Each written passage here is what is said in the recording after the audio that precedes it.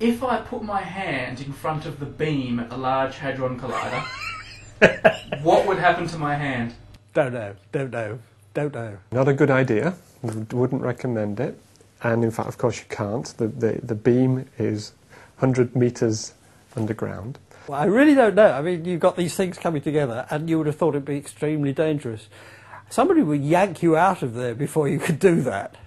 I, oh gosh, um, I don't think you'd feel very much.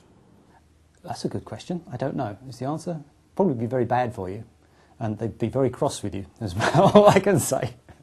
I don't know the total amount of energy that would be distributed, and I don't know the energy density. The beam uh, is sending protons in one direction, and of course, there's a counter beam going in the other direction.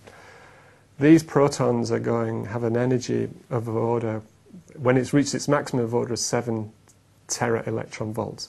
That's about the energy of a mosquito, so it's not a lot, right? It's of, one proton of but the, the difference is this energy is like concentrated into a volume a million million times smaller than the mosquito. So it's like a really sharp pinprick, but it's still only one proton. Unfortunately, there are uh, something like 3,000 bunches uh, going around the beam, around the accelerator. Each bunch has 100 billion protons.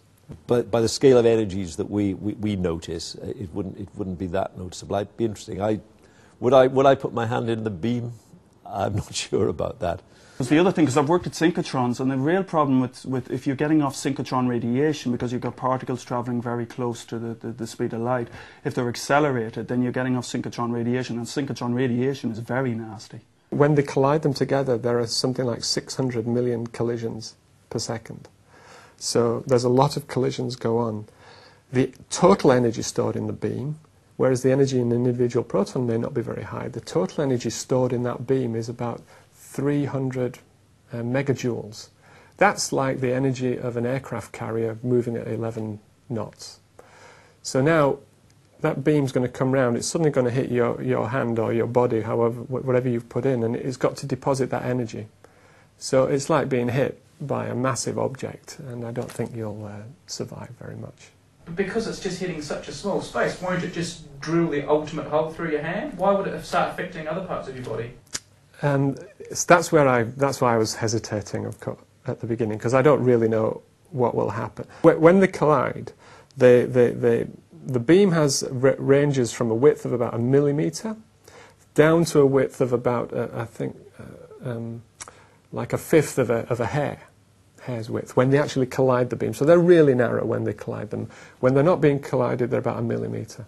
So they're going to come in and crash in here. So I have thought maybe, maybe they'll just shoot through, but, but it seems to me that what's got to happen is this energy has all got to be dumped uh, because it's now hit, hitting a lot of matter.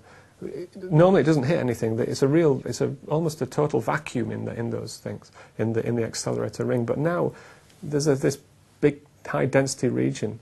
And so all these particles, it seems to me, will just hit in there and just start bombing out. So that's why I thought it might be a bit more dramatic than a little pinprick going straight through you.